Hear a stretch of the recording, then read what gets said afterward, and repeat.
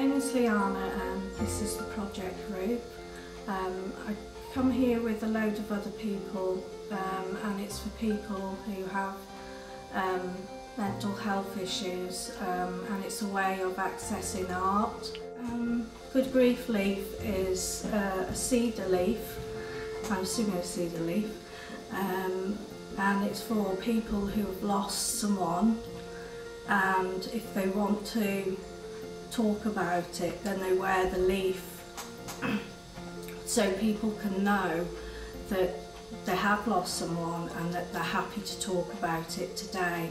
If they're not wearing the leaf then that means they're not ready to talk about it which is quite a good way of um, showing people because when you've lost someone people don't always know what to say they don't know what to sort of whether to mention it or not mention it.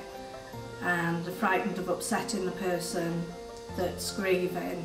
So that's why also um, I like the idea of the project as well because I've lost both my mum and dad. So it would have been handy to have a leaf a leaf then but uh, yeah it's a really good idea. So I was pleased to be involved.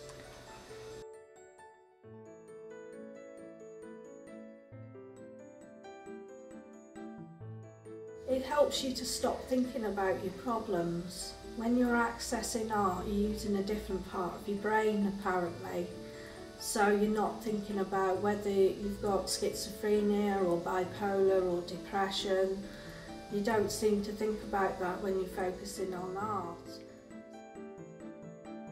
No, I've enjoyed doing it and it's made me think about my mum and dad a bit more um, and have fond memories that we shared together both when they were alive and you know when, when my after my dad had died my mum found it quite hard but she came through it and everything. So so yeah so just thinking about them really and just sh sharing happy memories